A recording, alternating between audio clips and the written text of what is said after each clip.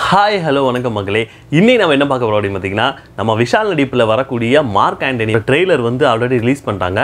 So அந்த ட்ரெய்லரில் என்னென்ன ஹிடன் டீட்டெயில்ஸ்லாம் இருக்குது என்ன டீகோடிங் பண்ண முடியும் என்னென்ன காட்டியிருக்காங்க அப்படின்றத இன்றைக்கி இந்த வீடியோவில் நம்ம பார்க்க போகிறோம் ஸோ வீடியோ பார்க்க முன்னாடி யாரும் சப்ஸ்கிரைப் பண்ணாமல் இருந்தீங்கன்னா முதல்ல போய் சப்ஸ்கிரைப் பண்ணுங்கள் கூடவே அந்த பெல் ஐக்கனை கிளிக் அப்போ தான் நான் போடக்கூடிய வீடியோஸோட அப்டேட் வந்து உங்களுக்கு கிடச்சிக்கிட்டே இருக்கும். ஸோ வாங்க வீடியோக்குள்ளே போகலாம். லுக்கு பொறாம மார்க் ஆண்டனி. பொதுவாக மார்க் ஆண்டனி அப்படின்னு சொன்னார் நமக்கு என்ன ஞாபகத்துக்கு வரும்? ரகுவரன். ஸோ பாஷா படத்தில் மார்க் ஆண்டனி அப்படின்னு ஒரு கேரக்டர் வந்து ரகு நடிச்சிருப்பார். வேறு லெவலில் இப்போ வரைக்குமே மார்க் ஆண்டனி அப்படின்னு சொல்லி சொன்னாலே ஒரு வில்லத்தனமான ஒரு மனுஷன் ஒரு கேங்ஸ்டர் அப்படின்னு தான் எல்லாருக்குமே தெரியும்.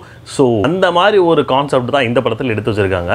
ஸோ மார்க் ஆண்டனி அப்படின்றது வந்து ஒரு கேங்ஸ்டர் ஸோ அதை தான் இந்த படத்தில் காட்டியிருக்காங்க. இந்த படத்தோட ஃபர்ஸ்ட் ஷாட் நீங்கள் எடுத்து பார்த்தீங்கன்னா அதிலே நான் இறந்துட்டேன் ஏன்னா அந்த மாதிரி ஒரு ஷாட்டை வச்சுருக்காங்க. ஸ்டார்டிங் ஷாட்லேயே பார்த்தீங்க அப்படின்னா ஒரு கேங் நின்றுக்கிட்டு இருக்கிற மாதிரியான ஒரு கார்ட்டூனோட ஒரு பிக்சர் மாதிரி இருக்குது அதில் வந்து பார்த்தீங்கன்னா நடுவில் ஒரு மனுஷன் உட்காந்துருக்காரு அது யார் பாருங்க? நம்ம டில்லி நம்ம டில்லி தான் உட்காந்துருக்காப்புல ஒரு ஒரு ஆள் டேப்பர் கடை வச்சிருக்காரு. ஒரு ஆள் வந்து கத்தி வச்சிருக்காரு. இதுக்கு கொஞ்சம் சம்மந்தப்பட்டது ஏதோ ஒன்று இருக்குது அப்படின்னு கொஞ்சம் யோசிச்சிங்களா?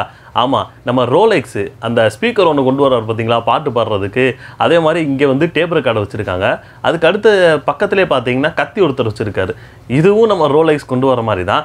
ஸோ இதுவும் ஒரு கேங்காக இருக்குமோ அப்படின்னு தோணுது. பின்னாடி ஒரு பையன் நின்றுக்கிட்டு இருக்கான் பாருங்கள் அந்த முகத்தை பார்க்கும்போது எனக்கு வந்து எங்கேயோ பார்த்த மாதிரி இருக்கேன்னு நினச்சா நம்ம காந்தி பாபு சதுரங்க வேட்டையில் நடித்த காந்தி பாபு அதில் அவர் ஒரு ஸ்டோரி சொல்லுவார் பார்த்தீங்களா அதில் இந்த மூஞ்சி தான் வரும். ஸோ இதை வச்சு நம்ம டேரக்டர் என்னமோ கதை சொல்ல போகிறாருன்னு நான் நினைக்கிறேன். இந்த ஷார்ட்டை காட்டிக்கிட்டே இருக்கும்போது ஆ ரெக்கார்ட் பண்ணிக்க அப்படின்னு தான் ஸ்டார்ட் பண்ணுறாரு யார்? நம்ம கார்த்தி வாய்ஸ் தான் வருது. ஸோ அடுத்த ஷார்ட்டில் பார்த்தீங்க அப்படின்னா நம்ம செல்வராகவன் வந்து சயின்டிஸ்ட் அந்த படத்தில் நடிச்சிருக்காப்புல. ஸோ அவர் வந்து பார்த்தீங்கன்னா அந்த டைம் மிஷின் கண்டுபிடிக்கிறதுக்காக ஏதோ எழுதிக்கிட்டு இருக்காரு. அதில் பார்த்தீங்க நல்லா கவனிச்சு பார்த்தீங்க கால அளவு இயந்திரம் அப்படின்னு சொல்லி வருது. இது வரைக்கும் நான் டைம் மிஷின் கேள்விப்பட்டு இப்போ தான் ஃபர்ஸ்ட் டைம் கால் அளவு இயந்திரம்னு ஃபஸ்ட் நான் அது கேள்விப்படுறேன். ஸோ அதுக்கு அடுத்த ஷாட்லேயே பார்த்தீங்கன்னா நம்ம செல்வராகவன் வந்து மேலே டாப் ஆங்கிள்லேருந்து கட்டிக்கிட்டு இருக்காங்க. ஸோ அந்த இடத்துல பார்த்தீங்கன்னா நிறைய டெலிஃபோன்ஸாக இருக்குது அதாவது பழைய காலத்து டெலிஃபோன்ஸாக இருக்குது மேபி இவர் இவர் இதை வச்சு எதுவும் பண்ண போகிறாரா அப்படின்றத வந்து அடுத்ததெல்லாம் காட்டுவாங்க. இதுக்கு அடுத்தடுத்த ஷாட்டில் பார்த்தீங்கன்னா ஒவ்வொரு கேரக்டர் அதில் காட்டிக்கிட்டே வராங்க அதில் நம்ம கிங்ஸ்லேவாக இருக்கட்டும் அதுக்கப்புறம் இந்த குக்கு வித் கோம சிடபிள்யூசியில் வரக்கூடிய இவர்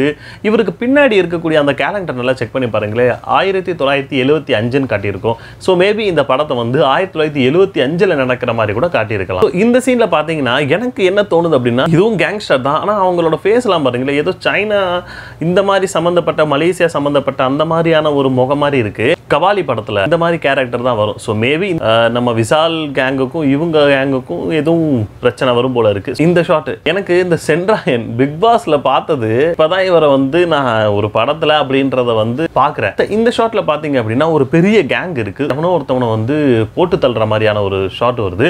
ஏன்னா இந்த படம் ஃபுல்லாக கேங்ஸ்டர் படமாக தான் இருக்கும். ஏன்னா நிறைய சண்டை வயலன்ஸ் நிறைய பயங்கரமாக இருக்கு. இந்த சீன் தான் எனக்கு ரொம்ப பிடிச்சிருந்தது. ஏன் அப்படி பார்த்தீங்கன்னா இவர் வந்து ஏதோ ஒரு ஃப்ளைட்டில் உட்காந்துருக்க மாதிரி தான் இருக்குது ஏன்னா அதோட ஸ்ட்ரக்சர் அந்த மாதிரி தான் இருக்குது அதோட பாடி எல்லாமே அப்படி தான் இருக்குது அதில் பார்த்தீங்கன்னா full and full machine guns அது அந்த இடத்துல யாரோ ஒரு ஆள் உட்காந்துருக்கிற மாதிரி இருக்குது அது மேபி விஷாலாக கூட இருக்கலாம் இல்லைன்னா எஸ்ஜே சூர்யாவு கூட இருக்கலாம். ஏன்னா ரெண்டு பேர் தான். ஸோ இந்த ரெண்டு பேரில் யாராவது ஒரு ஆளாக இருக்கலாம். ஸோ இந்த ஷாட்டில் பார்த்தீங்க அப்படின்னா அதில் என்ன எழுதி அஹ், ஜாக்கிப்பேட்டைன்னு எழுதி ஆயிரத்தி தொள்ளாயிரத்தி எழுபத்தஞ்சு இது ஆயிரத்தி தொள்ளாயிரத்தி எழுபத்தஞ்சுன்னு தான் காட்டியிருக்காங்க. மேபி இதுக்கு முன்னாடி வரக்கூடிய இவங்க வந்து டைம் ட்ராவல் பண்ணுற மாதிரியான ஒரு சீக்வன்ஸ்லாம் வருது. அது இதுக்கு முன்னாடி உள்ளதாக கூட இருக்கலாம். இது கூட இருக்கலாம். இந்த ஷாட் பார்க்கும்போது எனக்கு வந்து கேஜிஎஃப் தான் ஞாபகம் வருது. கேஜிஎஃப்ல அந்த பையன் வரும் பார்த்தீங்களா? அதே மாதிரி தான் இந்த இடத்துல பார்த்தீங்கன்னா அந்த பக்கம் பெ- நிறைய பெரிய பெரிய ஆளாக கேங்ஸ்டர் மாதிரி இருக்கு. இந்த பக்கம் வந்து ஒரு பையன் நின்றுக்கிட்டு இருக்கிற மாதிரி நடுவில் வந்து நெருப்பு எறிகிற மாதிரியான ஒரு சீன் வருது. ஸோ அந்த சீனு பார்க்கும்போது இவன் தான் நெருப்பு பற்றி வச்சிருப்பான் போல ஏன்னா பக்கத்தில் பார்த்தீங்கன்னா ஒரு சைக்கிள் இருக்குது அந்த சைக்கிளில் பார்த்தீங்கன்னா ஏதோ ஒரு டிஃப்ரெண்ட்டாக இருக்குது ஏன்னா அதில் ஹேண்ட்பேர் இருக்கும் பார்த்தீங்களா? அந்த இடத்துல ஸ்டேரிங் இருக்கிற மாதிரியான ஒரு செட்டப் மாதிரி பண்ணியிருக்காங்க. பின்னாடி வந்து பேக் மாதிரி எனக்கு தெரில அது வேணால் ஃபியூலாக கூட இருக்கலாம். ஸோ மேபி இவன் தான் நம்ம எஸ்ஜே சூர்யாவா? விஷாலா கூட இருக்கலாம். இந்த ட்ரெய்லரில் மோஸ்ட்லி எல்லாமே பார்த்தீங்கன்னா ஆயிரத்தி தொள்ளாயிரத்தி எழுபத்தஞ்சில் நடக்கிற மாதிரியான நிறைய சீன்ஸை வந்து இதில் ஆட் பண்ணியிருக்காங்க. ஏன்னா அந்த டயத்தில் என்னென்ன எக்யூப்மெண்ட்ல இருந்துச்சு அப்படின்றத வந்து ரொம்பவே யோசிச்சு இந்த படத்தில் வந்து வச்சுருக்காங்க. இந்த இந்த பார்த்தீங்கன்னா இதில் இந்த ஜீப் வரும் பாருங்க. இது வந்து கொஞ்சம் பழைய ஜீப் தான். இந்த மாடல் வந்து நைன்டிஸில் வரக்கூடிய அந்த ஜீப் தான். அதுக்கு பக்கத்துக்கு பஸ்ஸு போயிட்டு இருக்கு பாருங்க.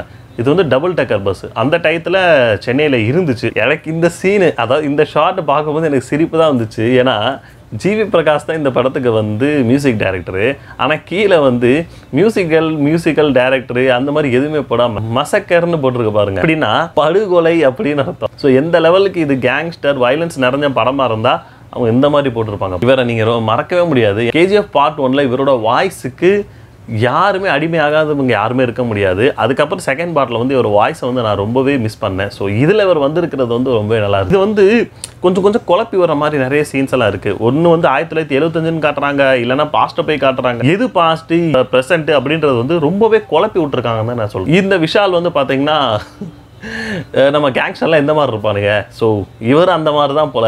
அது அதை தான் இதில் காட்டியிருக்காங்க. பொம்பளை சோக்கு கேக்குதா கோபி? பொம்பளை சோக்கு. பொம்பளை சோக்கு. ஏண்டா? இந்த கேங்ஸ்டர் பார்த்தீங்க அப்படின்னா ஃபர்ஸ்ட் வந்து மொத்தம் மூணு விஷாலை காட்டுற மாதிரி இருக்கு.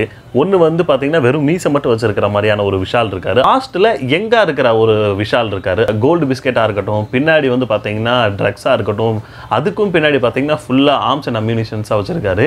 ஸோ இது வந்து அவர் கேங்ஸ்டர் ஆகி ஸ்டார்ட் பண்ணக்கூடிய ஒரு இதாக கூட இருக்கலாம். அதுக்கப்புறம் பார்த்தீங்கன்னா இதே விஷால் வந்து தாடி வச்சு வராரு.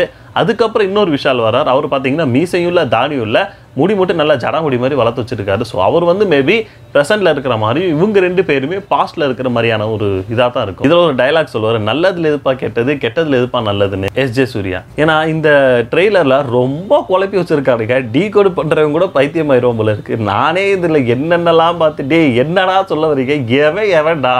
அப்படின்ற மாதிரியான ஒரு கான்செப்ட் மைண்ட் செட்டுக்கே போயிட்டேன். ஏன்னா எனக்கு புரியல.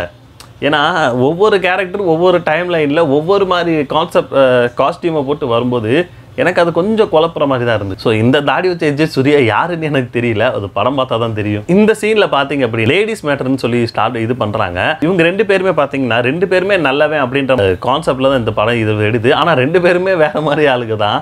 ஸோ அதை தான் இதில் வந்து காட்டியிருக்காங்க.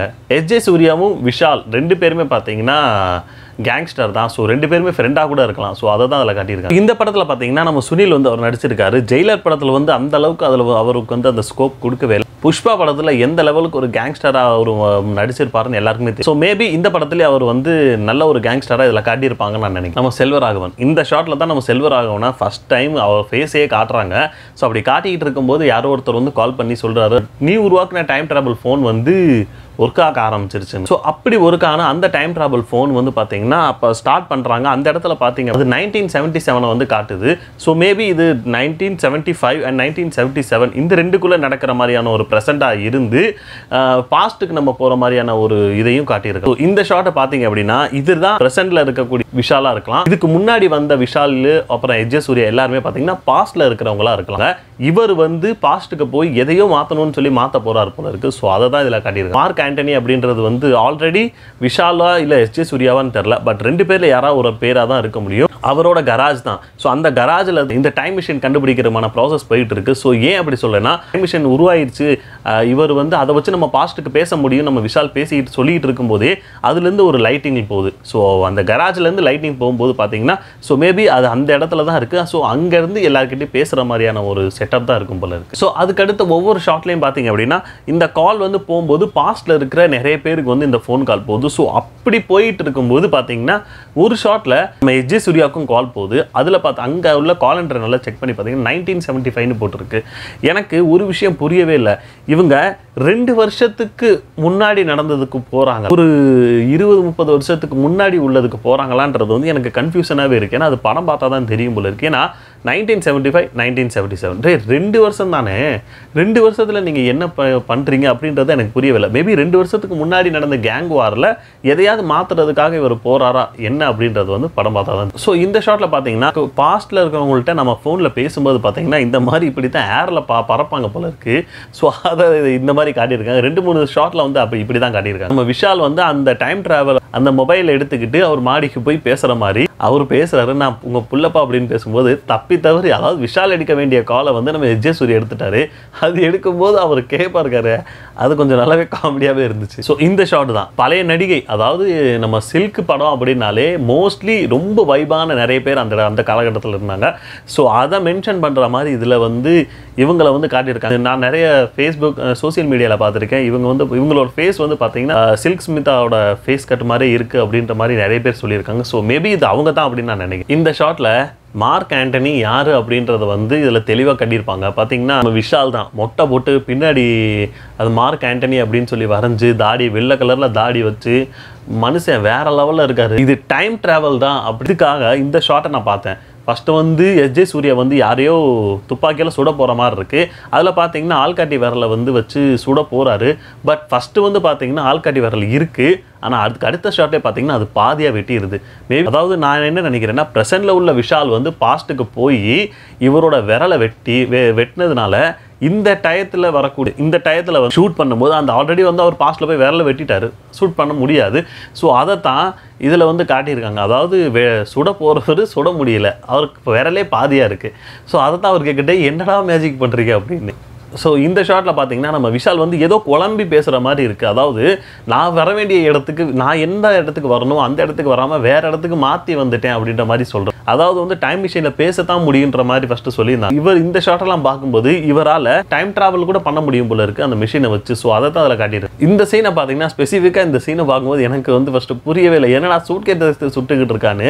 ஆனால் நல்லா கவனித்து பார்க்கும்போது தான் சூட் கேஸில் வந்து கன் ஷேப்பில் போச்சு. ஃபஸ்ட்டு வந்து சூட் கேஸ் மாதிரி தான் கொண்டு வந்திருக்காரு. பட் ஏதோ ஒரு கேங் வார் வரும் ஏதோ சண்டை வரும்போது இவர் அந்த சூட் கேஸ் எடுத்து சுடுற மாதிரியான ஒரு ஷாட் வச்சுருக்காங்க. என்ன பிரெயின் பார். ஸோ இந்த சீன் எல்லாம் முடிஞ்சோன்னே தட தட தட தடன்னு ஒவ்வொரு ஷாட்டாக சண்டையாக வருது ஒரு பக்கம் வெடிக்குது. ஆனால் பின்னாடி ஒரு மியூசிக் போயிட்டு இருக்கு பாருங்க. பஞ்சு மிட்டாய் சேலை கட்டின்னு நம்ம ஜிவி பிரகாஷ் அந்த பாட்டையே வேற லெவலில் மனுஷன் மாற்றி வச்சிருக்காரு. அது கேட்கறதுக்கும் நல்லா இருந்துச்சு விஷுவலாகவும் சூப்பராக இருந்துச்சு. இதோட மார்க் ஆண்டனியோட ட்ரெய்லர் முடியுது. ஸோ இதில் நம்ம பார்த்த நிறைய விஷயங்கள் வந்து படத்தில் எப்படி காட்ட போகிறாங்க எந்த மாதிரி டைம் ட்ராவலோடது காட்டுறாங்க அந்த டைம் ட்ராவல் பண்ணும்போது என்ன மாதிரி விஷயங்கள்லாம் சந்திக்கிறாங்க எதை எதை வந்து அவங்க ஃபேஸ் பண்ணுறாங்க நமக்கு என்னென்ன மாட்டுறாங்க அப்படின்றது வந்து படம் பார்த்தா தான் தெரியும். ஸோ படம் வந்து பார்த்தீங்கன்னா செப்டம்பர் பதினஞ்சுக்கு வந்து ரிலீஸ் ஆகுது. இந்த வீடியோ உங்களுக்கு பிடிச்சிருந்து அப்படின்னா சப்ஸ்கிரைப் பண்ணிடுங்க கமெண்ட் செக்ஷன்லேயும் கமெண்ட் பண்ணுங்க. ஸோ இந்த வீடியோவில் நான் வேறு ஏதாச்சும் இதில் வந்து நான் திருத்திக்கணும் இந்த வே வேறு ஏதாச்சும் டெவலப் பண்ணணும் அப்படின்னு நீங்கள் நினச்சிங்க அப்படின்னா அதையும் நீங்கள் கமெண்ட் செக்ஷனில் கமெண்ட் பண்ணலாம். நான் அடுத்த வீடியோவில் வந்து நான் திருத்திக்கிறேன். ஸோ டாட்டா பாபாய் அடுத்த வீடியோவில் பார்ப்போம்.